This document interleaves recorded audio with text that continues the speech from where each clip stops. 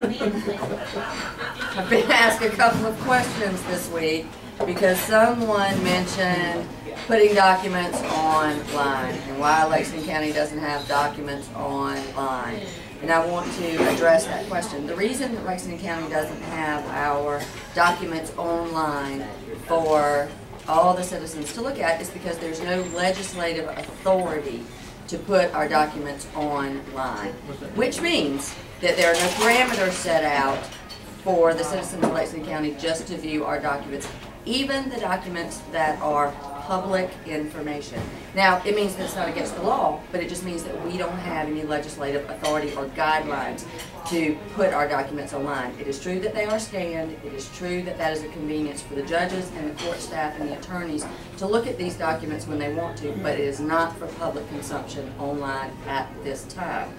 It doesn't mean that it's not a convenience for the public. It doesn't mean that it's not, we're not in a position that if a party to the action or a judge or an attorney anywhere in the state wants to look at these documents, they can call up Beth mm-hmm. Carrigg and say, Beth, I need to look at this document, and we attach it to an email, send it to them, and they have it within five minutes. But it would be irresponsible for the keeper of the record to just scan documents and put them online with all the private, personal information that is in a public record at this time without having any legislative direction. In a family court file, you have social security numbers, you have bank account numbers, you have mortgage information. When there are children involved, you have psychological evaluations, you have pediatric documents.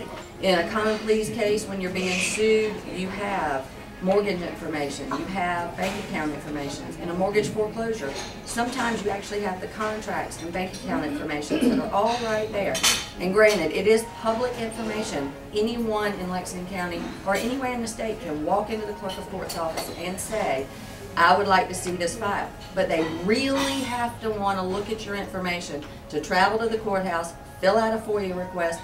We request that you show identification and acknowledge that you are the person that you say you are, and we make a copy of it and put it in the file so that we know the last person in that file in the event an original document is missing.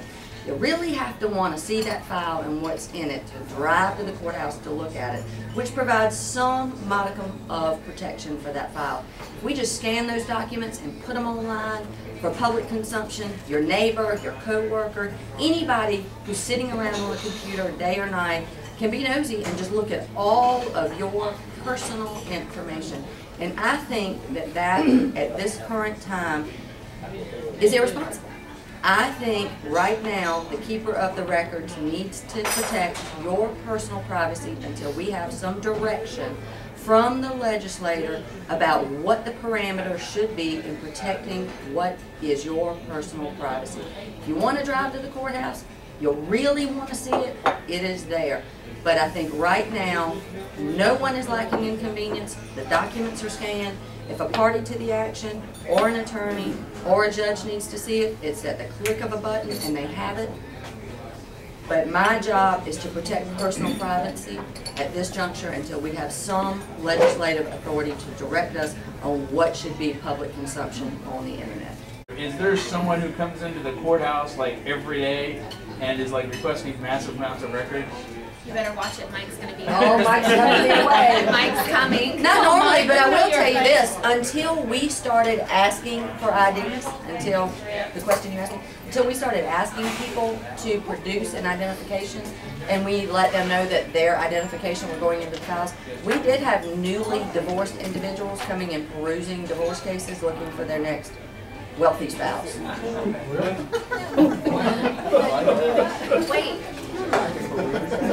Shopping. let me think about that. Interestingly enough, Shopping. people who had properties and homes and large bank accounts, that's how they'd stalk their next It's a So the people good who, so the people who Wow, that's a request the file, is that information public information of the people who request the Field file? yeah. Yeah. No, not exactly. Yeah, I mean, we don't have a list of these Right. people came in here today, but my point is, when they do come in, they fill out a FOIA request. We make a copy of their driver's license, and that goes in the file that they requested to see, so that we know the last person that was in that file. Right, I understand that, but that becomes And a every person document is in that file. And so I should be. It does become a document. it does. I mean, those people who requested that. You file. get that file, you know every person that's been in that file. Okay. I would go look at yours if I were you. And until we have some legislative Happen to authority have seven acres. that gives us some parameters to work in, I don't think it only is use just One acre of it. and up to an elected official to go out and put everyone's information online. So, but It you makes a don't- great you- campaign you have the speech, homestead it looks exemption. really good, and it sounds really No, but good. you don't have But I think we have a I'm not. responsibility to the citizens.